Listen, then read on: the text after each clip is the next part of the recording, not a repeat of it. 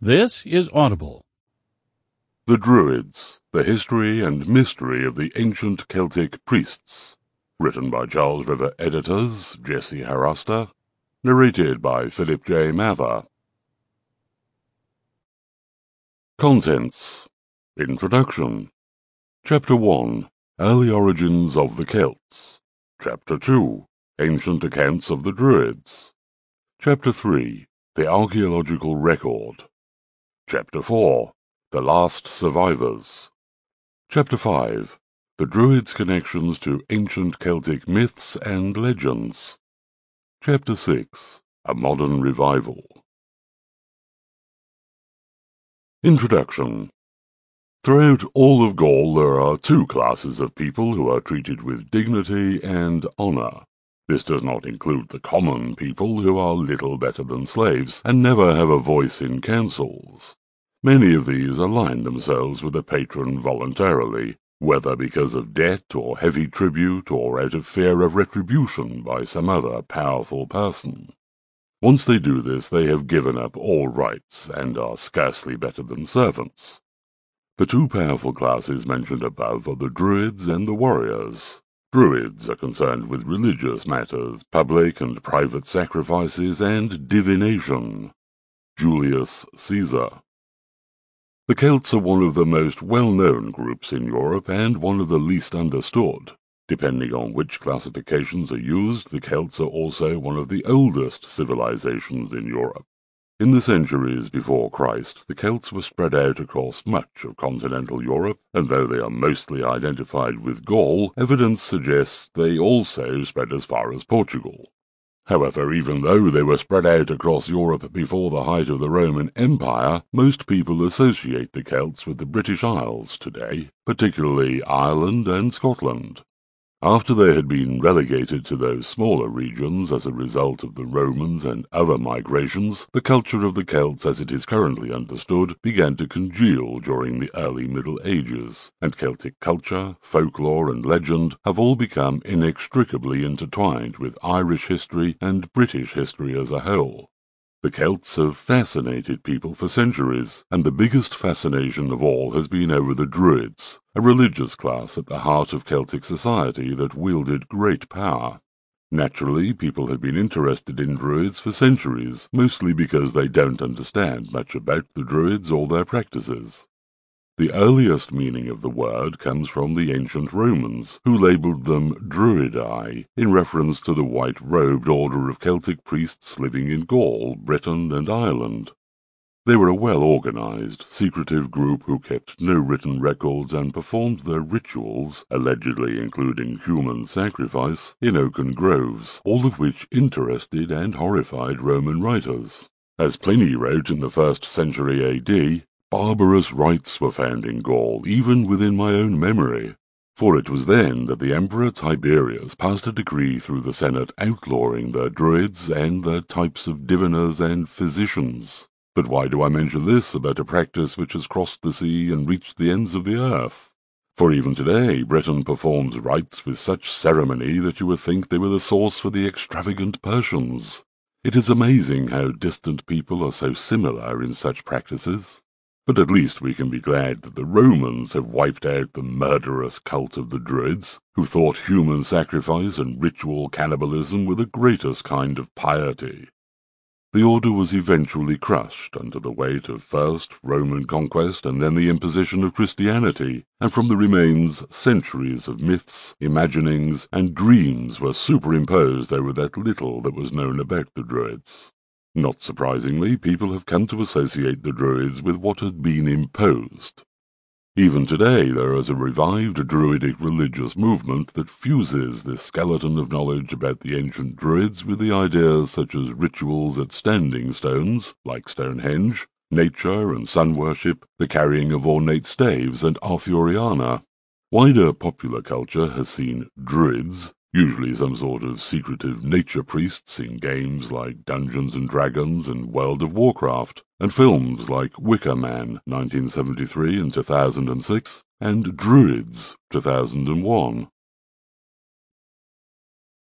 Chapter 1 Early Origins of the Celts For decades, scholars, linguists, and archaeologists have sought to fuse information culled from the surviving Celtic languages, the physical remains of the past, and historic documents to reconstruct the lives and histories of the various Celtic peoples.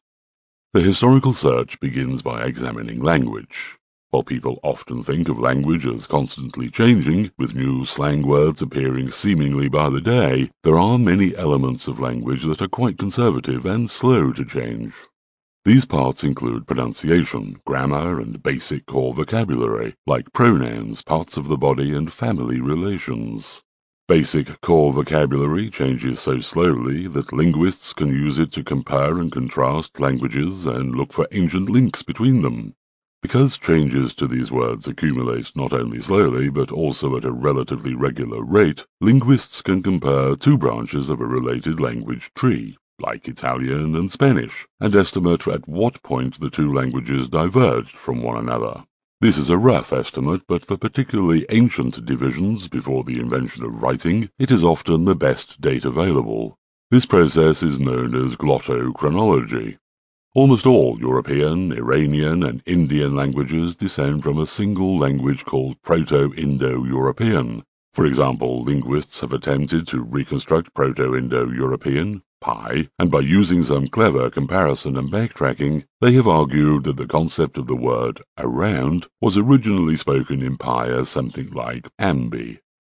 Linguists have found Gaulish examples from modern-day France and Celto-Iberian from modern-day Spain that use the term ambi almost identically. In the contemporary Old Irish, which also has written examples, linguists have found the use of im and the use of am in Middle Welsh. This pattern also continued into the present day. In modern Scots Gaelic, im, in Welsh, am, em or im, in Breton, am or em, and in Cornish, am, yim, om or em, it is apparent that the terms resemble each other and that their variations have slowly shifted over time. There are considerable debates amongst linguists as to when and where Proto-Indo-European emerged and began to break into today's language families with some arguing modern-day Turkey around 8,700 years ago, and others the southern Russian steppes around 6,000 years ago. Regardless, the language communities that would eventually speak Celtic broke from this mother tongue many thousands of years ago and moved westward into what is now Central Europe, where the language emerged into a form that is recognized as distinctly Celtic. Within the language family, recent research indicates that the northern Goidelic Celtic languages, Irish, Scots Gaelic and Manx, broke off from the southern Brythonic languages, Welsh, Cornish and Breton, around 1100 BC. The continental Celtic, usually referred to as the extinct language of Gaulish, separated from the Brythonic languages around 1000 BC. The splintering of these subfamilies into the named languages of today happened relatively recently, with the Brythonic languages separating in the 9th century AD and the Goidelic in the 8th century AD. The techniques of historical linguists, including glottochronology, provide the necessary evidence to link the ancient Celts to various time periods. Because much of modern archaeology works to provide links between archaeological discoveries and particular times, linguistic information allows researchers to go one step further and associate a language with archaeological remains as well. If this sounds complex, that's because it is. This task is riddled with the potential for mistakes, and the archaeology of Celtic remains is often a very controversial subject. As a result, in some cases the word Celt has been removed and replaced with more neutral terms like Iron Age peoples, to the consternation of many Celtic nationalists. However, the fact that the Celtic languages exist today means that they have existed throughout history, and with them Celtic peoples. In other words, archaeological studies of the Celts are not impossible, but merely difficult and as techniques have become far more refined in recent years, they have provided an increasingly clear picture of the past. Due to ancient accounts, there has long been a debate over the location and origins of the first Celts.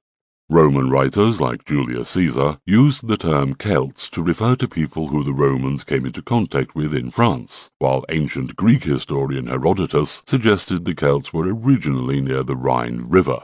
Today, the first group that archaeologists tentatively connect to the Celts is a cultural group called the Urnfield culture, which existed primarily in today's eastern and southern France and western Germany.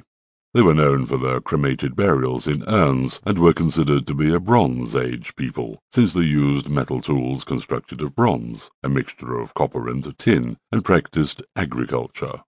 The Bronze Age is typically associated with the classic dynastic Egypt, the empires of Sumer and Babylonia in today's Iraq, the pre-classic Greece of Homer and the Minoan civilization of the island of Crete. The Urnfield people existed from around 1300 to 750 BC and were expansionist, clearly relying on their impressive hill forts. The division of the main branches of the Celtic languages, set around 1100 BC, occurred in this period and may be linked to a series of events around 1200 to 1100 BC that are known as the Bronze Age Collapse. This mysterious time was a period of massive social upheaval, population movements, and societal collapse throughout the Mediterranean, including the collapse of the Hittite Empire and the Egyptian New Kingdom. The Bronze Age collapse had repercussions throughout Europe, especially if the cause, as some believe, was due to climate change. Collapses aside, culture change in the archaeological record tends to be a slow process, as one culture slowly gives way to another. Eventually, the Urnfield people were replaced by a set of cultural remains that archaeologists refer to as the Hallstatt culture, which thrived from around 900 to 600 BC. This was probably not an actual replacement of one group of people by another, but an evolution of technology and traditions that saw the old ways remain at the peripheries long after the wealthy areas converted to the new forms. The most noticeable addition was the use of iron tools, which means the Hallstatt are an Iron Age people. Archaeologists believe that despite a similarity in technology, there are enough differences between the eastern and western branches of the Hallstatt to distinguish them from each other. The eastern branch resided in today's Czech and Slovak republics, parts of the northern former Yugoslavia, and parts of Hungary and Austria, while the western branch was in northern France, parts of northern Switzerland, Bavaria, northern Italy, and the northern parts of Spain and Portugal. The western branch is typically associated with the Celtic peoples, while the east is associated with another Indo-European group called the Illyrians. In the west, the people used and were even occasionally buried with mighty chariots, and they built hilltop forts like their predecessors. While the Easterners began to trade with Greece early, the Western, presumably Celtic, Hallstatt people only came into regular contact with the Mediterranean trade routes after 600 BC. This is important for two reasons. The first is that the control of luxury goods from these areas was apparently a key element in the rise of more centralized government, which are now called chiefdoms. Second, it was these Mediterranean peoples who possessed writing, and thus began to document the existence of the peoples related to the ancient Celts. Entering the 5th century BC, scholars are able to draw more concrete connections between people, place, and language based on all three forms of documentation linguistic analysis of language fragments, archaeology of sites, and the written records of ancient observers, most importantly the Romans.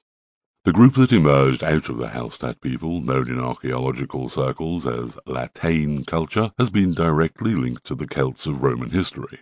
This was perhaps the golden age of the Celtic peoples, who were at the height of their military power and artistic endeavours and were spread out as far as they ever would. The heartland of their influence was in what is now France and southern Germany, where they were referred to as Gauls, and their language was called Gaulish. In Spain they were known as the Celtiberians, after they arrived during the twilight of the Hallstatt period, the 6th and 7th centuries BC, and occupied the Ebro Valley in the northeastern area of Spain. The Celtiberians were documented by Roman writers like the geographer Strabo, who noted that they were known to the classical Greeks. It is also believed that Herodotus was referring to the Celtiberians when he talked about the Celts living beyond the Pillars of Hercules. The 4th century BC Greek poet Ephorus wrote that they had the same customs as the Greeks. It was likely the Greeks who first labelled people Celts, and their other references to Iberians led to the compounding of the names into Celtiberians, thus ignorantly uniting various distinct nations. The Romans didn't make much of a distinction either, though Strabo did note differences between the peoples in Germany and the Iberian Peninsula, writing, Now the parts beyond the Rhenus, immediately after the country of the Celti, slope towards the east and are occupied by the Germans, who, though they vary slightly from the Celtic stock in that they are wilder, taller, and have yellower hair, are in all other respects similar, for in build, habits, and modes of life they are such as I have said the Celti are and I also think that it was for this reason that the Romans assigned them to the name Germani, as though they wished to indicate thereby that they were genuine Galatae, for in the language of the Romans, Germani means genuine. The Celts were drawn further into the Mediterranean world by allying themselves with the Carthaginians in the Punic Wars, which is not altogether surprising since Hannibal and his father had established Carthaginian power in southern Spain. However, it proved to be a big mistake, after Carthage's total defeat at the hands of the Romans. Naturally, the Romans had little sympathy for the Celtiberians as they moved to dominate the Iberian Peninsula. Strabo, an important Greek historian and a geographer, wrote in his seminal Geography, As for Iberia, the Romans did not stop reducing it by force of arms until they had subdued the whole of it, first by driving out the Numantini, and later on by destroying Viriathus and Sertorius and, last of all, the Cantabri, who were subdued by Augustus Caesar. As for Celtica, both the Cisalpine and the Transalpine, together with Liguria, the Romans at first brought it over to their side only part by part, from time to time. But later the deified Caesar, and afterwards Caesar Augustus, acquired it all at once in a general war. But at the present time the Romans are carrying on war against the Germans, setting out from the Celtic regions as the most appropriate base of operations, and have already glorified the fatherland with some triumphs over them. The greater concentration of Celts was, however, further north in today's France. These Gauls developed the art style that is known throughout the world as Celtic, curvilinear S-shaped designs with complex symmetrical geometric patterns. Some surviving pieces include the bronze Battersea shield, the Waterloo helmet, and the Wandsworth shield, all kept at the British Museum in London. The Celts of this period were known for their aristocratic warrior class, which rode to battle in chariots wearing spectacular armour. With that said, their territories, which stretched from the British Islands through France and Germany, east into the Czech Republic and south into Switzerland and even Italy, were never politically united, and it is unclear whether they had a single ethnic identity. While there were certainly artistic and linguistic links, they were divided into dozens of warring chiefdoms. Moreover, while they were called Celts by the Romans, they probably did not think of themselves using those terms. The Roman writer Diodorus Siculus, who lived during the mid-first century BC, described the inhabitants of Gaul in detail, and the Romans knew them all too well as a result of Julius Caesar's campaigns in Gaul. Diodorus wrote, The Gauls are tall of body, with rippling muscles and white of skin. Their hair is blonde, and not only naturally so, but they also make it their practice by artificial means to increase the colour which nature has given it, for they are always washing their hair in lime water, and they pull it back from the forehead and back to the nape of the neck, with the result that their appearance is like that of satyrs and pans, since the treatment of the hair makes it so heavy and coarse that it differs in no respect from a horse's mane. Some of them shave the beard, but others let it grow a little, the nobles shave their cheeks, but they let their moustaches grow until it covers the mouth. Consequently, when they are eating, their moustaches become entangled in the food, and when they are drinking, the beverage passes, as it were, through a kind of strainer. When they dine, they all sit, not upon chairs, but on the ground, using for cushions the skins of wolves or dogs. The service at the meals is performed by the youngest children, both male and female, who are of suitable age, and near at hand are fireplaces heaped with coals, and on them are cauldrons and spits holding whole pieces of meat. Brave warriors are rewarded with the choicest portions of the meat. It is their custom, even in the course of a meal, to seize upon any trivial matter as an occasion for keen argument, and then to challenge the other to single combat without any regard for their lives. In their journeys and when they go into battle, the Gauls use chariots drawn by two horses, which carry the charioteer and the warrior. When they encounter cavalry in the fighting, they first hurl their javelins at the enemy, and then step down from the chariots to join battle with their swords. Certain of them despise death to such a degree that they enter the perils of battle without protective armour, and with no more than a girdle about their loins. They also bring to the battle their free men to serve them, choosing them out from among the poor, and these attendants they use in battle as charioteers and shield bearers. It is also their custom, when they are drawn up for battle, to step out in front of the line and to challenge the most valiant men among their opponents to single combat, brandishing their weapons in front of them to terrify their adversaries. And when any man accepts the challenge to battle, they break forth into a song in praise of the valiant deeds of their ancestors, and in boast of their own high achievements, reviling all the while and belittling their opponent, trying, in a word, by such talk to strip him of his bold spirit before the combat. When their enemies fall, they cut off their heads and fasten them about the necks of their horses, and turning over to their attendants the arms of their opponents all covered with blood, they carry them off as booty, singing a song of thanksgiving over them. These first fruits of battle they fasten by nails in their houses, just as men do in certain kinds of hunting with the heads of wild beasts they have killed. The heads of their most distinguished enemies they embalm in cedar oil and carefully preserve in a chest, and these they exhibit to strangers, gravely maintaining that in exchange for this head one of their ancestors, or their father, or they themselves refuse the offer of a great sum of money. And some men among them, we are told, boast that they have not accepted an equal weight of gold for the head they show, displaying a barbarous sort of greatness of soul. For not to sell that which constitutes a witness and proof of one's valour is a noble thing. The clothing they wear is striking, shirts which have been dyed and embroidered in varied colours, and breeches which in their tongue they call brachai. They wear striped coats, fastened by a buckle on their shoulder, heavy for winter wear and light for summer, in which are set checks close together and of varied hues. For armour they use long shields as high as a man, which are made in a manner peculiar to them, some of them having the figures of animals embossed on them in bronze, and these are skilfully worked with an eye not only to beauty but also to protection. On their heads they put bronze helmets, which have large embossed figures standing out from them, and give an appearance of great size to those who wear them. In some cases horns are attached to the helmet so as to form a single piece, in other cases images of the foreparts of birds or four-footed animals. Their trumpets are of a peculiar nature and such as barbarians use, for when they are blown they yield a harsh sound appropriate to the tumult of war. Some of them have iron breastplates, but others are satisfied with the armour which nature has given them, and they go into battle naked. In place of the short sword they carry long broadswords which are of iron or bronze, and are worn on the right side. The Gauls are terrifying in aspect, and their voices are deep and harsh. When they meet, they converse with few words and in riddles, for the most part hinting darkly at things, and using one word where they mean another. Also, they like to talk in superlatives, to the end that they might extol themselves and belittle all others.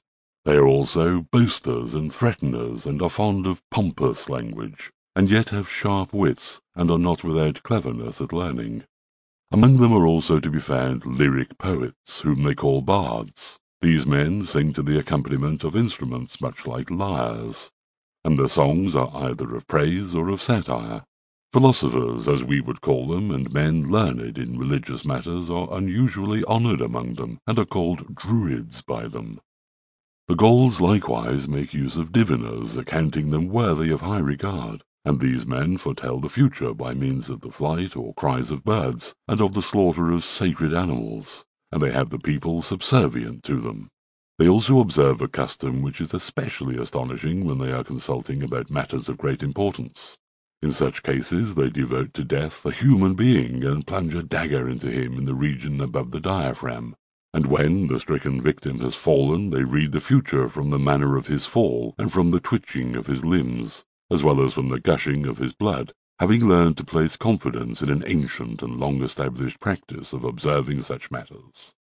And it is a custom of theirs that no one should perform a sacrifice without a philosopher, for, they say, offerings should be rendered to the gods by those experienced in the nature of the divine and who speak the language of the gods. It is also through the mediation of such men, they think, that blessings should be sought.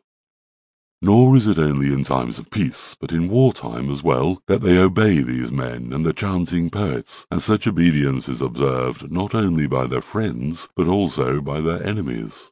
Many times, for instance, when two armies approach each other in battle with swords drawn and spears thrust forward, these men step between them and make them stop, as though having cast a spell over wild beasts.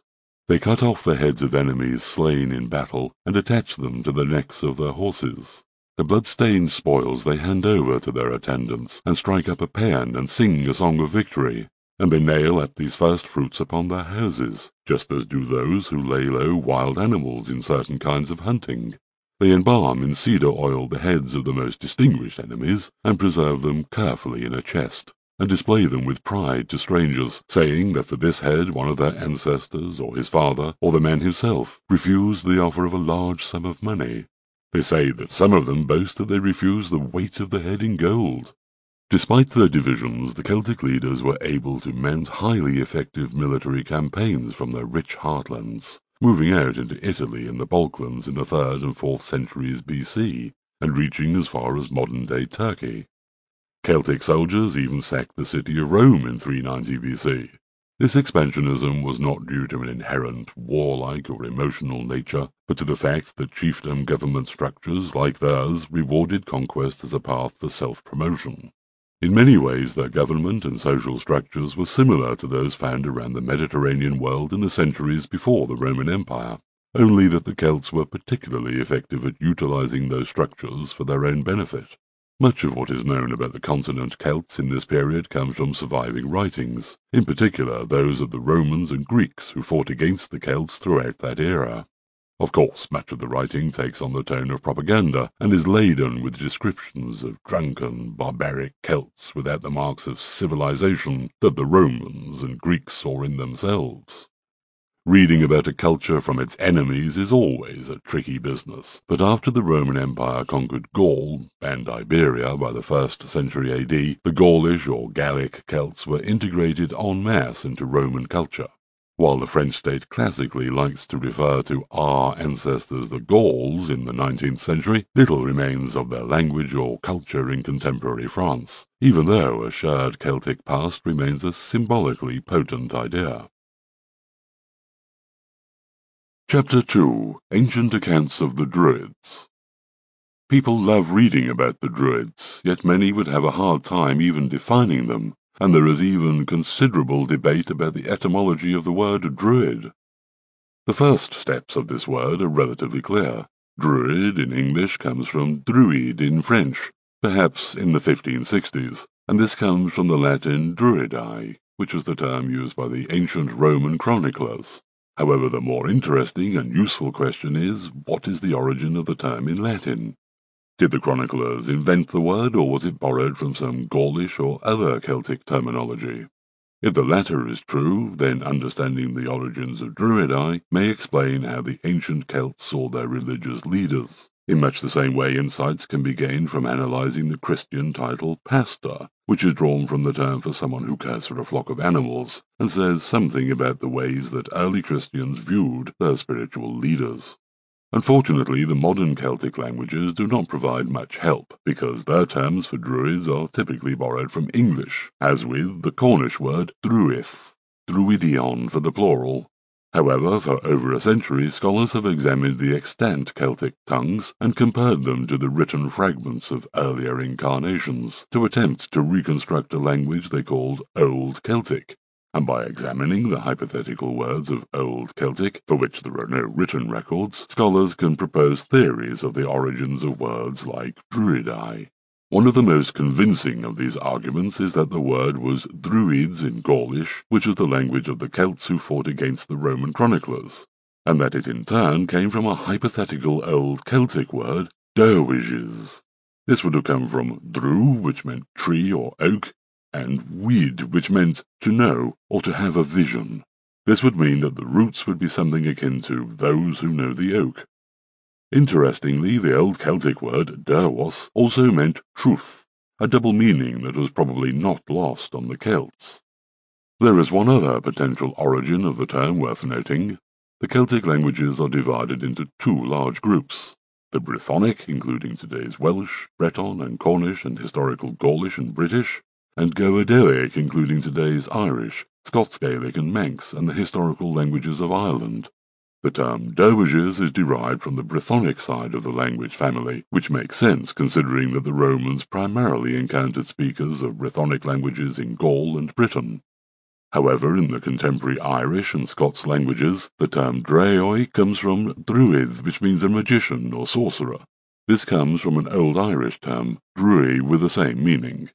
What gives this argument some plausibility that the first one does not have is that the words drei and dryad and drui can all be found in either modern spoken language or in written records, not merely through hypothetical reconstruction.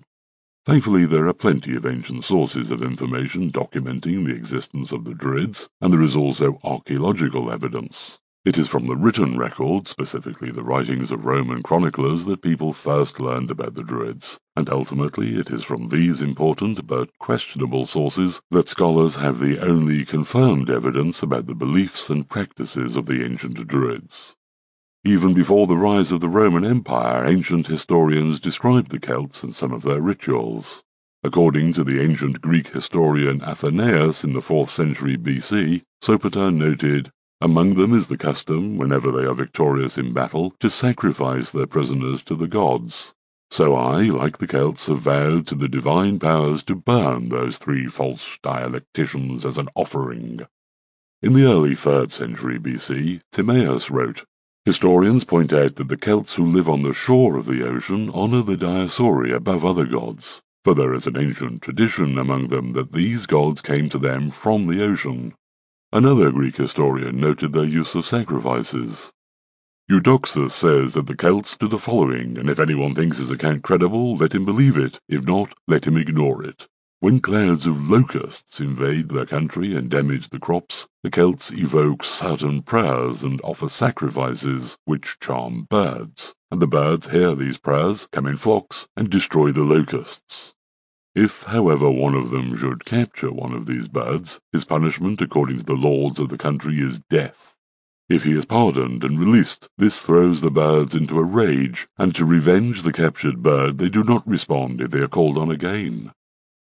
Strabo noted a similar anecdote.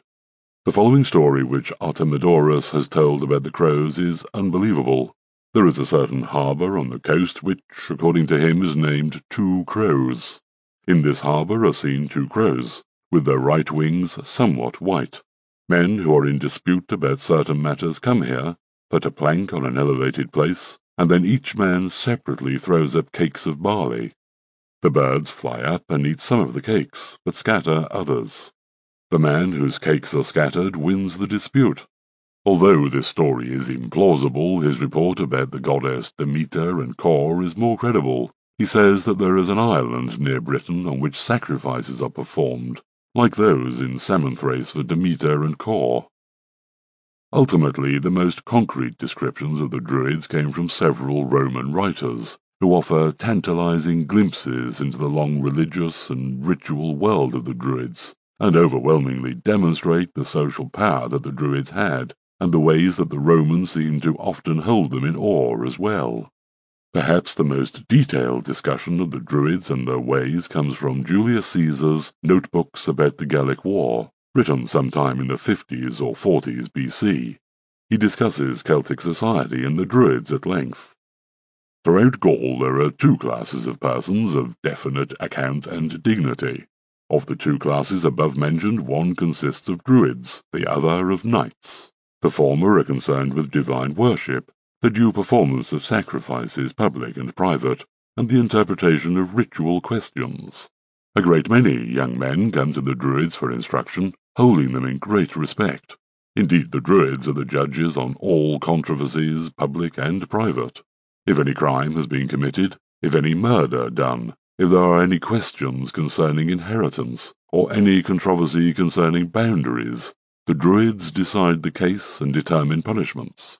If anyone ignores their decision, that person is banned from all sacrifices, an extremely harsh punishment among the Gauls. Those who are so condemned are considered detestable criminals. Everyone shuns them, and will not speak with them, fearing some harm from contact with them, and they receive no justice nor honour for any worthy deed. Among all the Druids there is one who is the supreme leader, holding highest authority over the rest. When the chief Druid dies, whoever is the most worthy succeeds him. If there are several of equal standing, a vote of all the Druids follows, though the leadership is sometimes contested even by armed force. At a certain time of the year, all the Druids gather together at a consecrated spot in the territory of the Carnutes, whose land is held to be the centre of all Gaul. Everyone gathers there from the whole land to present disputes, and they obey the judgments and decrees of the Druids. It is said that the Druidic movement began in Britain and was then carried across to Gaul. Even today, those who wish to study their teaching most diligently usually travel to Britain. The Druids are exempt from serving in combat and paying war taxes, unlike all other Gauls. Tempted by such advantages, many young people willingly commit themselves to Druidic studies, while others are sent by their parents. It is said that in the schools of the Druids they learn a great number of verses, so many in fact that some students spend twenty years in training. It is not permitted to write down any of these sacred teachings though other public and private transactions are often recorded in Greek letters. I believe they practice this oral tradition for two reasons. First, so that the common crowd does not gain access to their secrets, and second, to improve the faculty of memory. Truly, writing does often weaken one's diligence in learning and reduces the ability to memorize. The cardinal teaching of the Druids is that the soul does not perish, but after death passes from one body to another, because of this teaching that death is only a transition, they are able to encourage fearlessness in battle. They have a great many other teaching as well, which they hand down to the young, concerning such things as the motion of the stars, the size of the cosmos and the earth, the order of the natural world, and the power of the immortal gods. All of the Gauls are greatly devoted to religion, and because of this, those who are afflicted with terrible illnesses or face dangers in battle will conduct human sacrifices, or at least vow to do so. The Druids are the ministers at such occasions. They believe that unless the life of a person is offered for the life of another, the dignity of the immortal gods will be insulted. This is true both in private and public sacrifices. Some build enormous figures which they fill with living persons and then set on fire, everyone perishing in flames. They believe that the execution of thieves and other criminals is the most pleasing to the gods, but when the supply of guilty persons runs short, they will kill the innocent as well. The chief god of the Gauls is Mercury, and there are images of him everywhere. He is said to be the inventor of all the arts, the guide for every road and journey, and the most influential god in trade and money-making.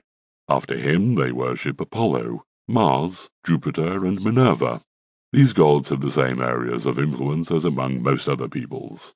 Apollo drives away diseases, Minerva is most influential in crafts, Jupiter rules the sky, and Mars is the god of war. Before a great battle, they will often dedicate the spoils to Mars. If they are successful, they will sacrifice all the living things they have captured and other spoils they gather together in one place. Among many tribes, you can see these spoils placed together in a sacred spot and it is a very rare occasion that anyone would dare to disturb these valuable goods and conceal them in his home. If it does happen, the perpetrator is tortured and punished in the worst ways imaginable. The Gauls all say that they are descended from the god of the dark underworld, Dis, and confirm that this is the teaching of the Druids. Because of this, they measure time by the passing of nights, not days. Birthdays and the beginnings of months and years all start at night, the funerals of the Gauls are magnificent and extravagant. Everything which was dear to the departed is thrown into the fire, including animals. In the recent past, they would also burn faithful slaves and beloved subordinates at the climax of the funeral. Caesar, while writing something of a puff piece in notebooks, certainly had first-hand knowledge of the Druids from his time fighting the Gauls, and was thus an invaluable direct observer. While probably writing from second-hand sources, Strabo gave a similar description of the Druids' high status in his seminal Geography, which was published in the first decade of the first century BC, before Caesar's work. Among all the Gallic peoples, generally speaking, there are three sets of men who are held in exceptional honour. The bards, the Vates and the Druids. The bards are singers and poets, the Vates diviners and natural philosophers, while the Druids, in addition to natural philosophy, study also moral philosophy. Caesar's observation that the Druids acted like judges for social disputes was also echoed by Strabo, who wrote, The Druids are considered the most just of men, and on this account they are entrusted with the decision not only of the private disputes, but of the public disputes as well so that in former times they even arbitrated cases of war and made the opponents stop when they were about to line up for battle, and the murder cases in particular had been turned over to them for decision. Further, when there is a big yield from these cases, there is forthcoming a big yield from the land too, as they think. Strabo also seems to confirm Caesar's description of the Druids' religious beliefs about the immortality of the soul. However, not only the Druids but others as well say that men's souls and also the universe are indestructible, although both fire and water will at some time or other prevail over them. While these theological points may have been of some interest to the Romans, one area of religious practice that always intrigued ancient writers was divination, the ability to tell the future or of far-off events. The famous Roman orator and philosopher Cicero described the Druids, among the religious practitioners of several foreign peoples, in his work De Divinatione, of Divination, he wrote in approximately 44 BC, Nor is the practice of divination disregarded even among uncivilized tribes. If indeed there are Druids in Gaul, and there are, for I know one of them myself, Divitiacus the Aeduan, your guest and eulogist. He claimed to have that knowledge of nature which the Greeks called physiologia, and he used to make predictions, sometimes by means of augury and sometimes by means of conjecture. Strabo also mentioned druidic divination. They used to strike a human being, whom they had devoted to death, in the back with a sabre, and then divine from his death struggle. But they would not sacrifice without the Druids. Diodorus Siculus described druidic rituals surrounding divination at length. The Gauls have certain wise men and experts on the gods called druids, as well as a highly respected class of seers. Through auguries and animal sacrifice, these seers predict the future, and no one dares to scoff at them. They have an especially odd and unbelievable method of divination for the most important matters. Having anointed a human victim, they stab him with a small knife in the area above the diaphragm. When the man has collapsed from the wound, they interpret the future by observing the nature of his fall, the convulsion of his limbs, and especially from the pattern of his spurting blood. In this type of divination, the seers place great trust in an ancient tradition of observation. It is a custom among the Gauls to never perform a sacrifice without someone skilled in divine ways present. They say that those who know about the nature of the gods should offer thanks to them, and make requests of them as though these people spoke the same language as the gods. The Gauls, friends and foes alike, obey the rule of the priests and bards not only in time of peace, but also during wars. It has often happened that just as two armies approached each other with swords drawn and spears ready, the Druids will step between the two sides and stop the fighting as if they had cast a spell on wild beasts.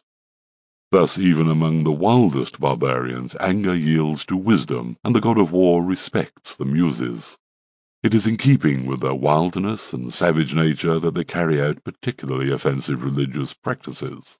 They will keep some criminal under guard for five years, then impale him on a pole in honor of their gods, followed by burning him on an enormous pyre along with many other first fruits. They also use prisoners of war as sacrifices to the gods, some of the Gauls will even sacrifice animals captured in war, either by slaying them, burning them, or by killing them with some other type of torture. A better known account of the divinatory and magical practices comes from the Natural History by Pliny the Elder, who mentions the Druids in his chapter on mistletoe. He noted, I can't forget to mention the admiration the Gauls have for mistletoe, the Druids, which is the name of their holy men, hold nothing more sacred than this plant and the tree on which it grows, as if it grew only on oaks. They worship only in oak groves and will perform no sacred rites unless a branch of that tree is present. It seems the Druids even get their name from drus, the Greek word for oak, and indeed they think that anything which grows on an oak tree is sent from above, and is a sign that the tree was selected by the god himself. The problem is that in fact mistletoe rarely grows on oak trees. Still, they search it out with great diligence, and then will cut it only on the sixth day of the moon's cycle, because the moon is then growing in power but is not yet halfway through its course. They use the moon to measure not only months but years, and their grand cycle of thirty years. In their language they call mistletoe a name meaning all healing. They held sacrifices and sacred meals under oak trees, first leading forward two white bulls with horns bound for the first time, a priest dressed in white then climbs the tree and cuts the mistletoe with a golden sickle, with the plant dropping it onto a white cloak. They then sacrifice the bulls while praying that the god will favourably grant his own gift to those whom he has given it. They believe a drink made with mistletoe will restore fertility to barren livestock and act as a remedy to all poisons. Such is the devotion to frivolous affairs shown by many people. Similar to the Sabine herb, savin is a plant called selago. It must be picked without an iron instrument by passing the right hand through the opening of the left sleeve as if you were stealing it. The harvester, having first offered bread and wine, must wear white and have clean bare feet. It is carried in a new piece of cloth. The Druids of Gaul say that it should be used to ward off every danger, and that the smoke of burning selago is good for eye disorders. The Druids also gather a plant from marshes called samolus, which must be picked with the left hand during a time of fasting. It is good for the diseases of cows, but the one who gathers it must not look back, nor place it anywhere except in the watering trough of the animals. There is a kind of egg which is very famous in Gaul, but ignored by Greek writers. In the summer months, a vast number of snakes will gather themselves together in a ball which is held together by their saliva and a secretion from their bodies. The Druids say they produce this egg-like object called an anguinum, which the hissing snakes throw up into the air. It must be caught, so they say, in a cloak before it hits the ground. But you'd better have a horse handy because the snakes will chase you until they are cut off by some stream. A genuine anguinum will float upstream, even if covered in gold. But, as is common with the world's holy men, the Druids say it can only be gathered during a particular phase of the moon, as if people could make the moon and serpents work together. I saw one of these eggs myself. It was a small, round thing like an apple, with a hard surface full of indentations, as on the arms of an octopus. The Druids value them highly. They say it is a great help in lawsuits, and will help you gain the goodwill of a ruler. That this is plainly false is shown by a man of the Gaulish Vocontii tribe, a Roman knight who kept one hidden in his cloak during a trial before the Emperor Claudius and was executed, as far as I can tell, for this reason alone. Barbarous rites were found in Gaul even within my own memory, for it was then that the Emperor Tiberius passed a decree through the Senate outlawing the Druids and these types of diviners and physicians. But why do I mention this about a practice which has crossed the sea and reached the ends of the earth? For even today Britain performs rites with such ceremony that you would think that they were the source for the extravagant Persians. It is amazing how distant people are so similar in such practices. But at least we can be glad that the Romans have wiped out the murderous cult of the Druids, who thought human sacrifice and ritual cannibalism were the greatest kind of piety. In this expert, Pliny offers perhaps the richest detail of all the ancient sources. His account includes details of Druidic ritual, the use of oak groves, the importance of mistletoe, that were not noted anywhere else, and it's perhaps no coincidence that worship in oaken groves was not unique to the Druids, as there is evidence that the Germanic god Thor, Donar, was worshipped primarily in this context as well. Perhaps most importantly, Pliny provides an evocative image that has influenced all later images of the Druids. A white-robed priest with a golden sickle climbing an oak tree to harvest mistletoe, while two white bulls bellow on the floor of the grove below. He also notes that the Druids used a lunar calendar that began their months on the fifth day of the lunar cycle and was divided up into months, years, and ages. The Romans, on the other hand, used a solar calendar that they dated back to the founding of their city, the calendar of Romulus, and the revised form of that calendar is still used across the West today. The existence of a calendar is itself a tribute to the Druids' learning and their ability to not only carefully track celestial motions, but also perform relatively complex mathematics. The fact that they apparently did so without writing is even more impressive, though not unique as the civilizations of the Andes also created elaborate calendars without writing. The famous Roman historian Livy wrote of a grisly anecdote in the first century AD about Celtic sacrifice. Postumius died there fighting with all his might not to be captured alive. The Gauls stripped him of all his spoils, and the Boii took his severed head in a procession to the holiest of their temples. There it was cleaned, and the bare skull was adorned with gold, as is their custom. It was used thereafter as a sacred vessel on special occasions, and as a ritual drinking cup by their priests and temple officials. The Romans' grim accounts of human sacrifice were clearly designed to chill the hearts of Roman readers, and scholars may have taken them with a grain of salt, except for the fact that they were later confirmed by archaeological evidence. In total, these written accounts all create a rough outline of the Druids that seems to describe a pan-Celtic order of priests and political functionaries who performed rituals in oak groves using mistletoe. These accounts also suggest the Druids were central to sacred sacrifices, were keepers of a vast body of knowledge including a calendar through memorization, especially the theological concept of metempsychosis, the undeath of the soul and reincarnation, Druids also apparently served as neutral arbiters and diplomats for the fractious Celtic chiefdoms. The ancient accounts are supported by the weak linguistic evidence that interprets the word druid as originating from the term meaning those who know the oak, and truth in Old Celtic. One of the most important observations that emerges from the Roman accounts is that the Druids had two distinct roles within society, making it all but impossible to completely understand their position among the ancient Celts. On the one hand, they were teachers, ritual leaders and scholars keeping secret law. This side is widely recognized in modern writings on the organization.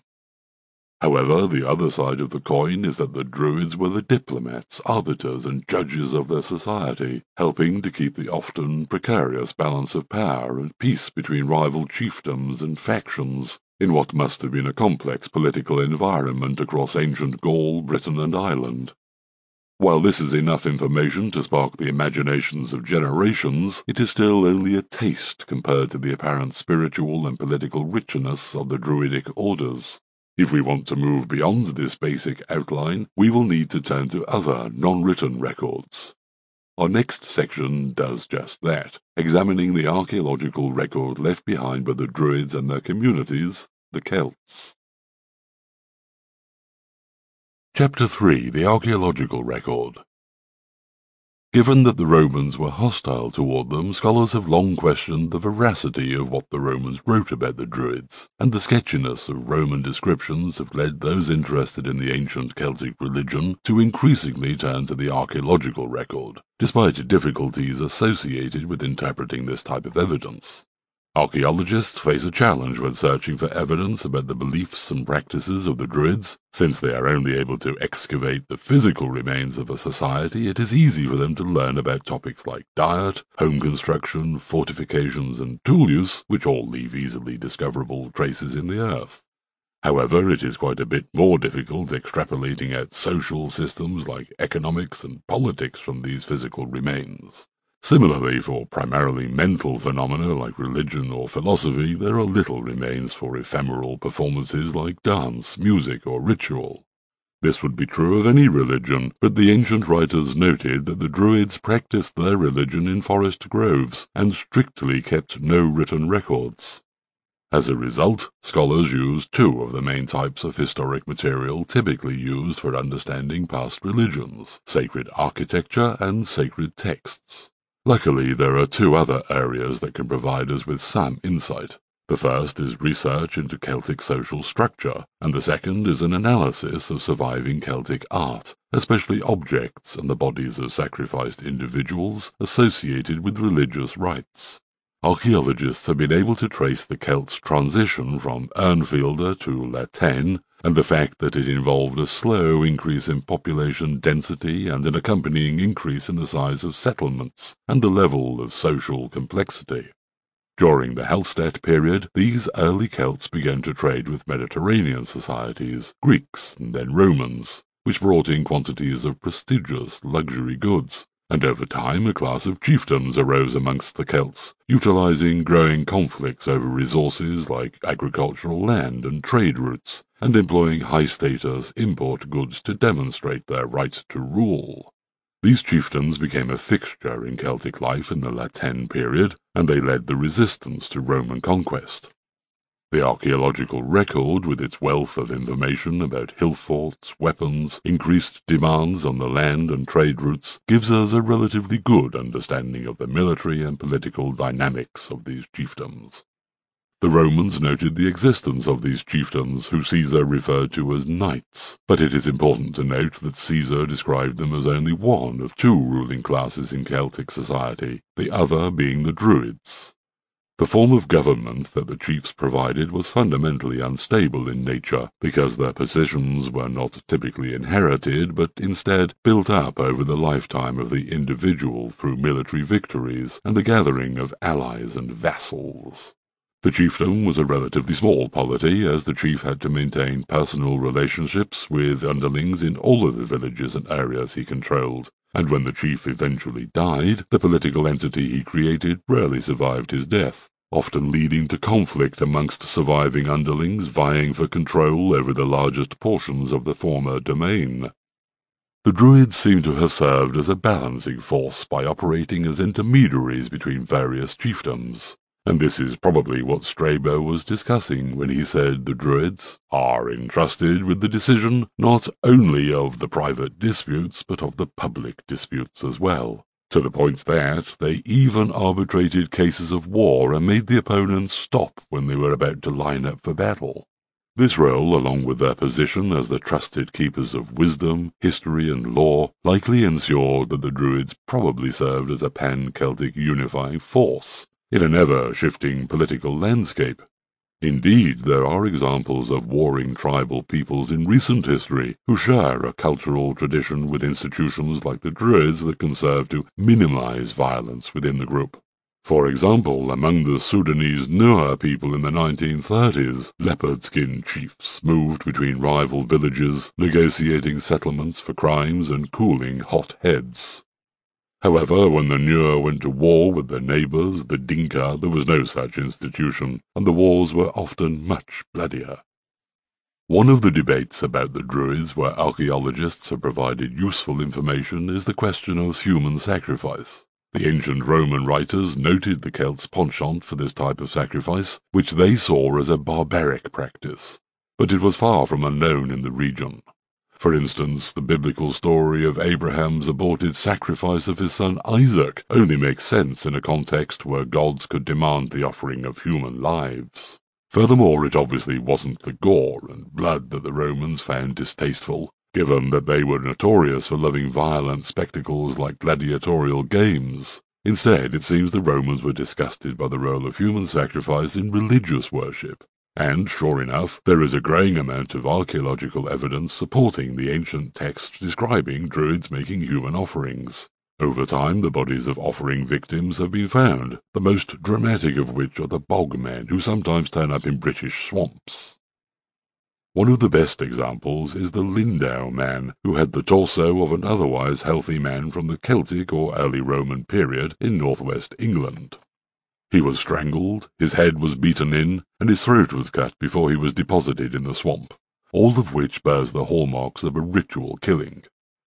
It is even possible that he was a willing participant in the ritual, since the ancient writers claimed the Druids taught Celts that the soul was eternal, and that another life awaited them. It cannot be proven exactly who killed Lindow Man, but it is telling that these rituals did seem to take place in the same areas during the same time periods as the Romans described them and attributed them to the Druids.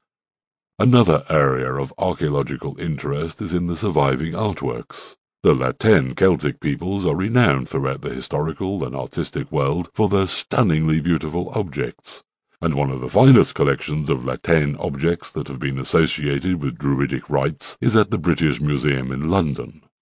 Some of these were associated with sacrifices. For instance, a set of decorative bronze spoons were found in a peat bog, akin to the one where Lindow Man was found in Westmoreland County in the northwest of England. A similar spoon was found in a bog near London, and all three spoons had small holes bored near their rims, perhaps for a forgotten ritual purpose. Another British Museum piece with a purported connection to the Druids is an iron headband from roughly 200 to 150 BC, akin to a crown and decorated in traditional La Tène patterns, that was worn directly against the hair. Archaeologists debate over its use, but currently it is believed to have been worn by a religious leader, because it is similar to those described as worn by religious practitioners in Roman Britain a few hundred years later. At the same time, its owner was also buried with an impressive set of weaponry, indicating that perhaps the Druids may have been warrior priests. Roman reports of Druids battling each other in hand-to-hand -hand combat over the position of chief Druid seems to be a nod in that direction. The La Tène people are famous for their aesthetic designs, especially their incredible swirling designs, knotwork, spindly animals and spirals, all of which continue to inspire Celtic art to this day.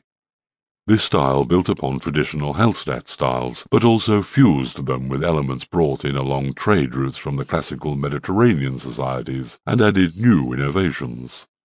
It is difficult to say exactly what was the relationship between this aesthetic and the religious beliefs of the Druids, but La Tène designs appear on the spoons and headband described above.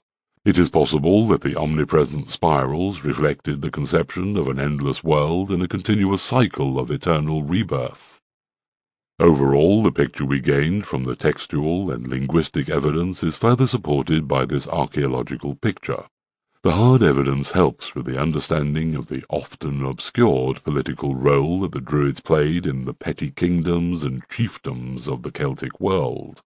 Archaeology is good at piecing together the political and economic lives of deceased peoples, and in the Celtic context it gives a picture of a warrior society, in which the Druids appeared to have a key role.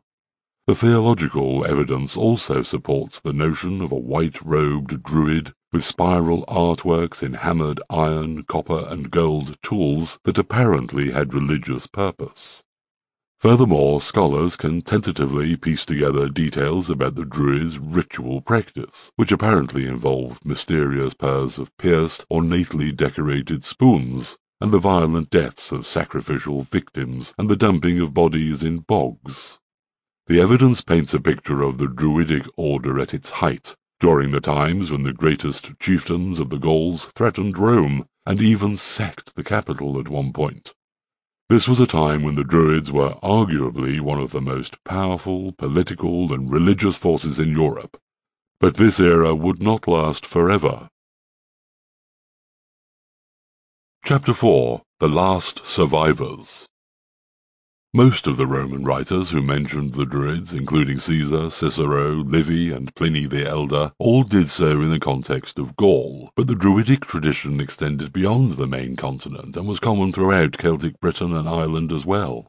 Most importantly, it lasted far longer in these regions as well, because these lands were subjected to fewer foreign conquests than Western Europe. In Gaul, the Druids' position was permanently weakened by the loss of their political power once the Romans subjugated the area and added it to the empire.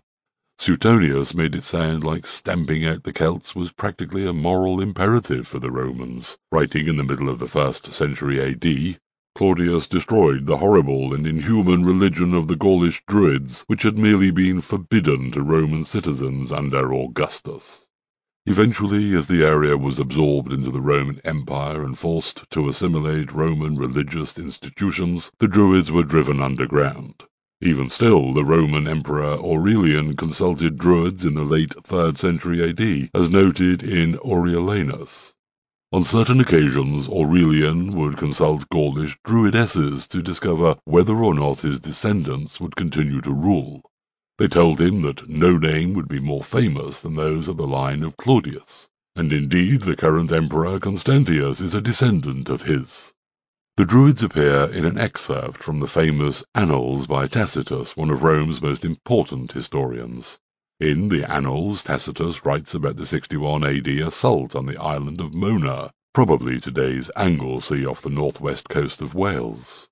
This has been referred to by modern authors as the last stand of the Druids. As the Roman troops arrived on the island, they were greeted by an impressive display, including Druids.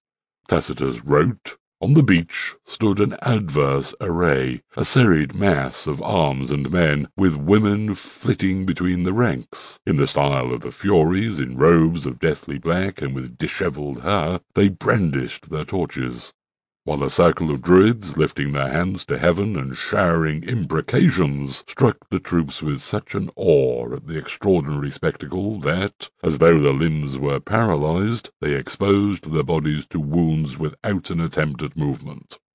Then, reassured by their general, and inciting each other never to flinch before a band of females and fanatics, they charged behind the standards, cut down all who met them, and enveloped the enemy in his own flames. The next step was to install a garrison among the conquered population and to demolish the groves consecrated to their savage cults, for they considered it a duty to consult their deities by means of human entrails. While he was thus occupied, the sudden revolt of the province was announced to Suetonius. Despite this victory, Roman power in the region was short-lived, and in those areas of Britain that did not fall under Roman rule, especially Wales, the Druidic tradition appears to have actually lasted far longer than it did anywhere else. Caesar described the Druids as part of a tripartite division of intellectual labour, with diviners, vates, and bards making up the other two legs of the tripod. Bards were singers and extemporaneous poets who performed in the courts of the rulers, and even after the Christianization of Wales, the bardic tradition continued in the independent courts of the Welsh princes. As late as the 10th century AD, a Welsh ruler named Howel Dda Howel the Good drew up a document in Welsh listing the laws, duties, and privileges of the bards, and all evidence points to them having taken up the political, if not religious, roles of the Druids including moving between royal courts, interpreting laws, negotiating peace, and, in their role as genealogists, arbitrating on inheritance. Similar institutions existed in pre-colonization Ireland and the Gaelic-speaking areas of the Scottish Highlands as well. One of the most crucial characteristics of the social world of the early Celts that was hard to understand for Romans and even people today was the limit on freedom of movement. The division of the landscape into tiny rival political units meant that both average people and their leaders often could not travel far from their homes without entering the territories of enemies who might kill them on sight. This was not unique to the Celts, but in contrast to this lack of mobility, the early modern bards of the Welsh and Irish statelets possessed a tremendous social power mobility. This social power was probably inherited directly from the Druids of antiquity, reinforcing the view that Druids were not only religious leaders, but fundamentally political figures as well. This was not unique, since the fusion of political and religious roles was common throughout the ancient world, and remains institutionalized in religious monarchies today, like Saudi Arabia. Given that the Druids had a dual religious and political nature, it's no surprise that their decline was linked to changes in both of these dimensions. In Gaul, the change was brought about by political upheaval, while in Wales and Ireland it was first religious, with the introduction of Christianity, and then political. Ultimately, it was not until the final conquest of Ireland, Wales, and the Scottish Highlands and their integration into the British state that the last remnants of the Druidic political tradition were extinguished. Chapter 5 The Druids' Connection to Ancient Celtic Myths and Legends there are writings from much later Christian monks, primarily in Ireland and Wales, who wrote down the mythology and folklore of their peoples. However, these stories cannot be taken as pure transfers of Druidic knowledge because the Druids wrote nothing down, despite being aware of the existence of writing through their contacts with the Mediterranean. It is possible, if not likely, that some Druidic knowledge, especially secret interpretations of myth, was not widely disseminated, and over time stories morphed after their decline. Moreover, the common folk and the priesthood practiced widely different forms of religion and told widely differing tales, all of which could be warped by Christian chroniclers. Again, this is not unique. Recent research in southern India a region of the world with beliefs in polytheism and reincarnation taught by a hereditary priesthood, much like the Druids, has shown that the practices of low-caste Hindus often diverge widely from the Brahmanic orthodoxy to the point of contradicting it at times.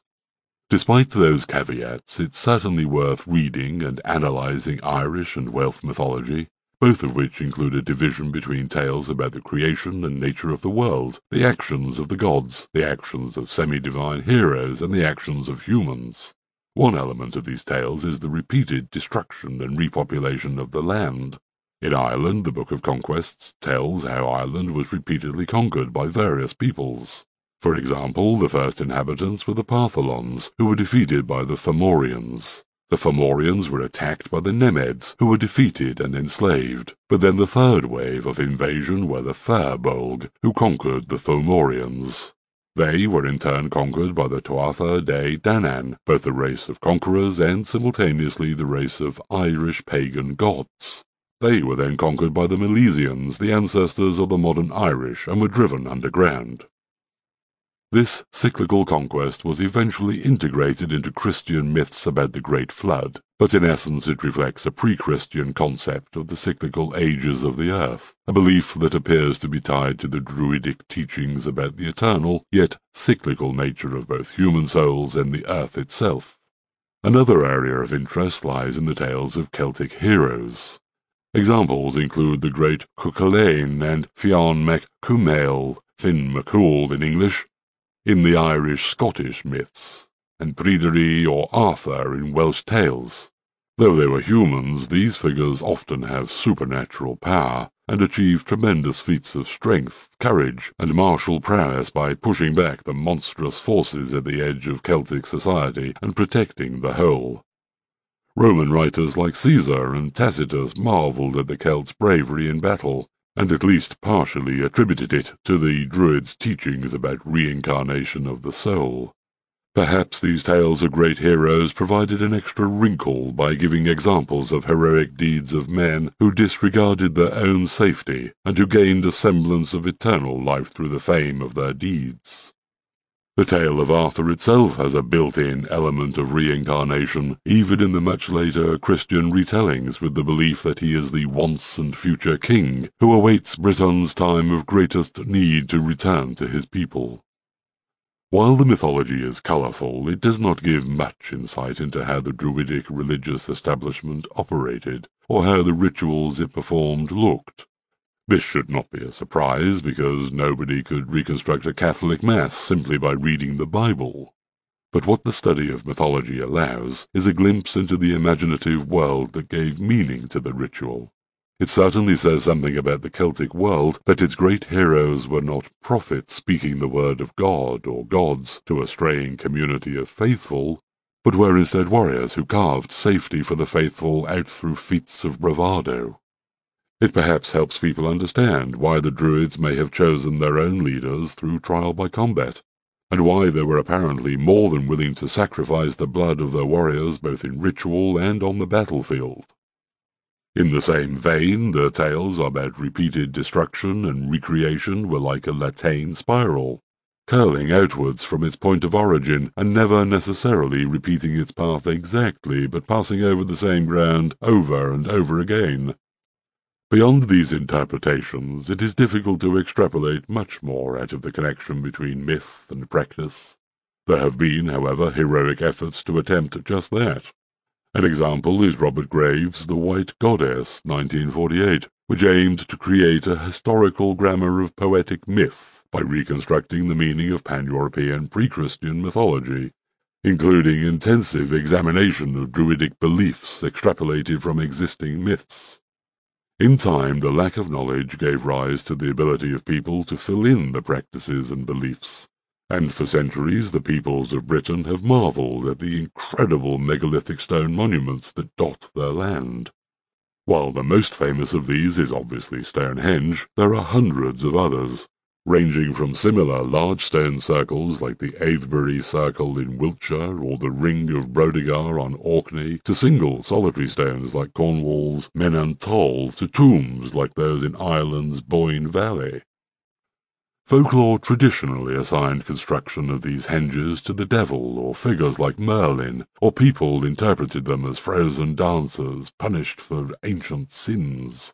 However, in the late 18th century, antiquarian scholars across Britain began to argue that these stones could be attributed to the Druids. These men sought to understand the history of Britain not according to medieval fantasies of pixies and the devil, but instead to fit it into the broad sweep of recorded history, which was intimately connected to the writings of classical authors. The arrival of a scientific, methodical approach to British history charted a parallel interest in both megaliths like Stonehenge and the Druids. One of the first individuals to do so was John Aubrey, whose magnum opus Monumenta Britannica attempted to catalogue the stone monuments of southern Britain. In it he described Stonehenge in great detail, including noting the holes where the ancient wooden posts had once been located now called Aubrey Holes in his honour, and attempting to link the site up with existing textual evidence. This led him to connect the site with the Druids described by Roman chroniclers, a connection that current scholars have refuted. Nevertheless, Aubrey's work was an important step in making people look at Stonehenge as a site of scientific and historical significance, not simply one for folklore and romance. After Aubrey, the next major archaeologist to work on the site was William Stukeley, who bridged the works of archaeology and neo-Druidry. For Stukeley, an Anglican priest, there was no doubt the Druids had built the site, and he and his contemporaries like Iolo Morganwg in Wales attempted to reconstruct this ancient, authentic British religious tradition, which he believed was itself part of an ancient universal religion. Stukeley, however, was important in the field of archaeology too, since he was the first to scientifically attempt to date the site, using now disproved theories about the migration of the magnetic poles. Despite using flawed science, Stukeley was the first to recognize the site's celestial alignment, and he even began tentative steps at excavation, opening a grave he described as belonging to a warrior princess. Stukeley's major work on the site was entitled Stonehenge, a Temple Restored to the British Druids, 1740. By the 19th century, the stones and the Druids were fundamentally linked in the romantic imagination of the time period, as seen in artistic works like Stonehenge by John Constable, 1820, and eventually modern neo-pagan druidic rituals came to be set in standing stones, such as the annual summer solstice rites at Stonehenge. The idea that Stonehenge and its sister standing stones were the temples of the Druids is an appealing one, especially for 19th and 20th century Britons looking for an authentically British form of spirituality. Since these sites were easily the most impressive examples of British antique architecture, it made sense to people that they might be temples of Britain's most famous ancient priesthood. Unfortunately for them, that belief has no firm evidence supporting it. One clear fact is that none of the cultures identified today as ancient Celts built Stonehenge or the other megaliths that dot northwestern Europe. In fact, the cultures that created these sites appear to predate the arrival of the Celtic peoples in the region by thousands of years. Moreover, the Roman observers did not leave any record of a connection between the Druids and the stones, Instead, they explicitly described both Gaulish and British Druids as practicing in groves, with Pliny clarifying that they were oak groves laden with mistletoe. Does this mean that the Druids most definitely did not utilize the standing stones? It does not completely rule out the possibility. Certainly they were aware of them, as no community living in the areas around a stone circle has ever been ignorant of their presence. It is possible that the Druids had a relationship to the stones even if they didn't use them for rituals, such as telling stories about the origins and purposes of the henges. It's altogether possible that the Druids were just as fascinated by sites like Stonehenge as people are today, and they may have offered just as many theories to explain their existence. Chapter 6 A Modern Revival Due to the relative paucity of evidence about exactly what the Druids practiced and believed, discussions of the history of the order almost inevitably turn to speculation. While some historical dots can be connected to concrete evidence, there are plenty of gaping holes to fill, and by the 18th century, Druidic enthusiasts have been doing just that. In fact, people have attempted to recreate the entire corpus of Druidic sacred ritual, lore, and mythology. Stonehenge and stone monuments like it around Britain have been linked in the minds of the people of Britain with the Druids since the writings of the 18th century archaeologist William Stukeley. Stukeley, however, did not act alone. Around Britain, upper class, often Anglican Britons were at this time seeking to understand the ancient Celtic religions of their islands. For many, the Druids held a great attraction, and the people began to form Druidic orders around the writings of scholars like Stukeley and Iolo Morganwg, 1747 to 1826.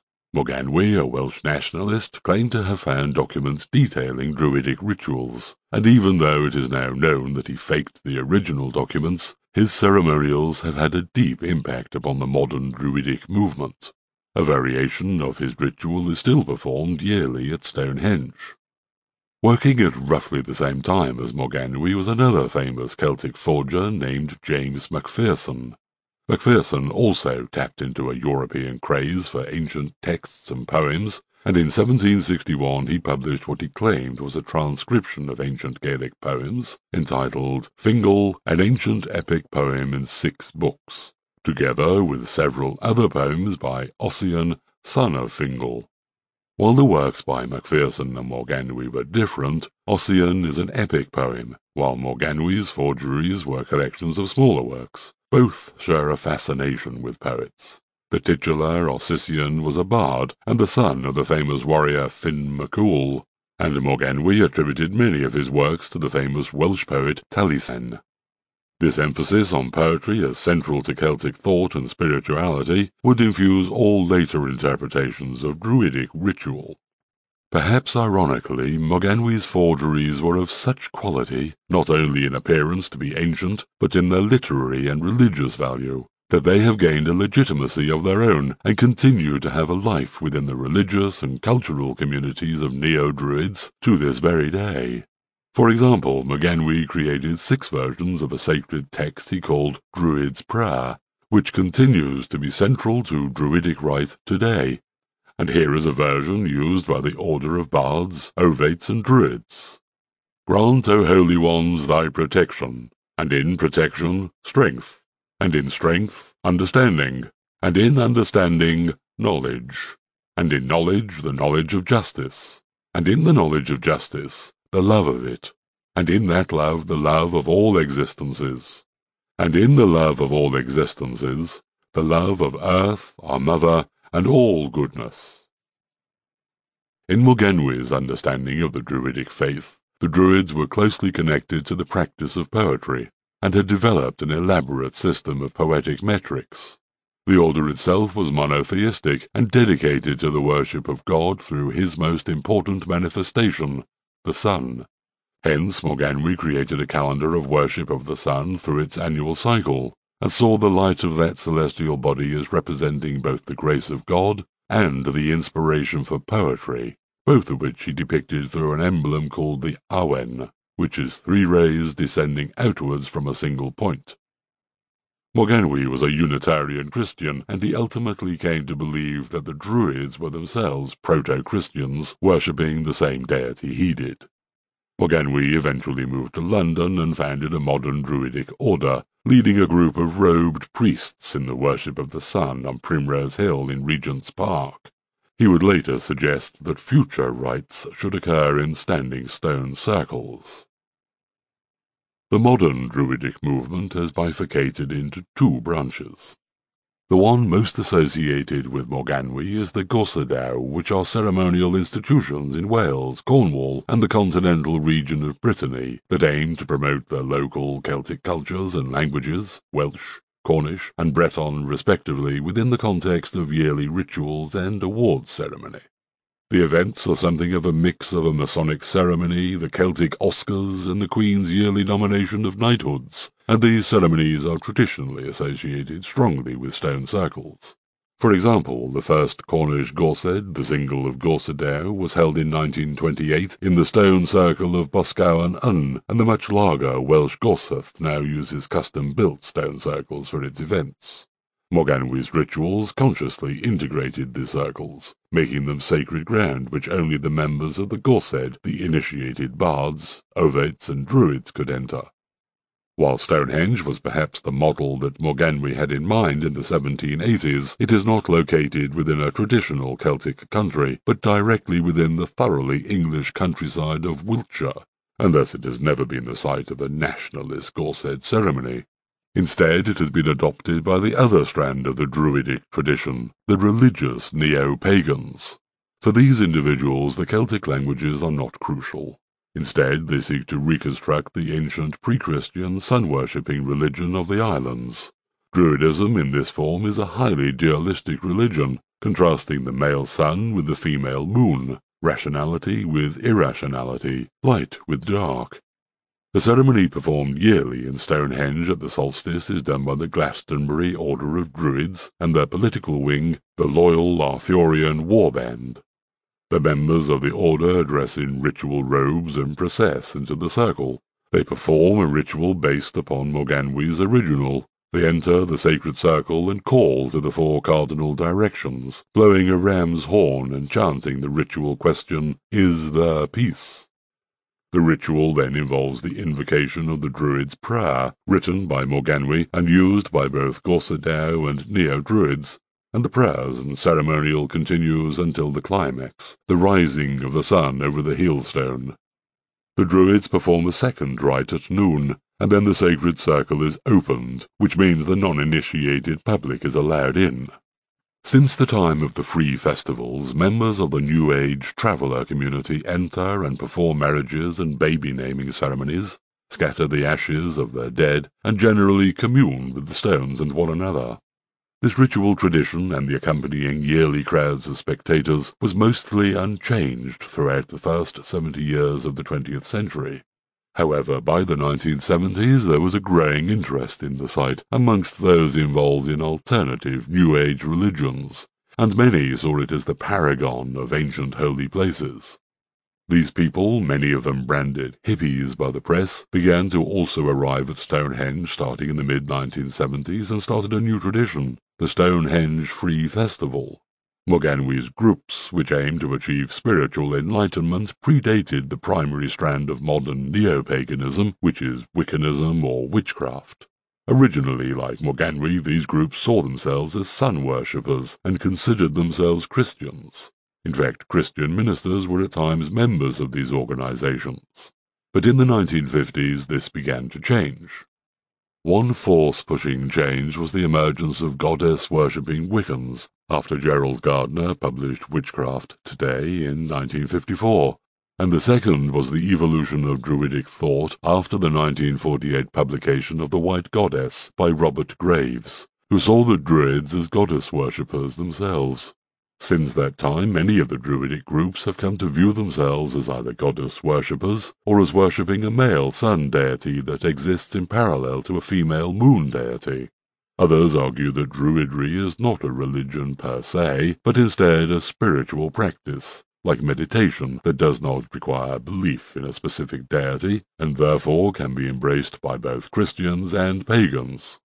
Today, Druids are often better organized than most pagan groups, with relatively strict hierarchies that attempt to emulate the descriptions of Druidic organizations in the ancient texts. For many of these groups, the fact that Morganwg forged a lot of his documents does not undermine the ultimate spiritual truth of what he wrote. Furthermore, they are often not strict reconstructionists like historical reenactors, but instead are willing to practice a faith that has a connection to the past but does not claim to be a perfect reconstruction of a past religion. Most modern Druidic groups fill in the broad gaps in the historical record through recourse to divine inspiration, often through the use of Native American inspired sweat lodges, or through the interpretation of dreams, sometimes in the light of psychoanalytical theories like Jung's archetypes. The Gorsedd-Eisteddfod tradition was a product of the 19th century, the same romantic movement that embraced Morganwg and Macpherson, but in the 20th century it began to gain traction outside of Wales. The first expansion was to Brittany, a region of modern France whose native Breton language is a close cousin of Welsh. The Gorsedd Breton was founded in 1899 and has a rocky history, in part because of the fact that it always blended a more religious character into its rites than its Welsh counterpart and also because of its association with the fascist Nazi occupiers during World War II. The third branch, the Gorsedh Kernow, is based in Cornwall and was founded in 1928. Cornwall had a Celtic tongue related to Welsh and Breton, and though it ceased to be used in the 19th century, the Gaucet became central to the revival movement of the language. Thus, after centuries hidden in obscurity, Druids have returned to the modern world. Granted, centuries of mystery have not been kind to the details of their memory, so modern people have had to draw upon their own creativity, and even though the revival was a result of forgeries by people like Iolo Morganwg, it continues today. It is now commonplace to find druids being depicted as nature sorcerers and or priests in a number of video games, and the description for one game, Pathfinder, captures the new interpretation well. Within the purity of the elements and the order of the wilds lingers a power beyond the marvels of civilization. Furtive yet undeniable, these primal magics are guarded over by servants of philosophical balance, known as druids.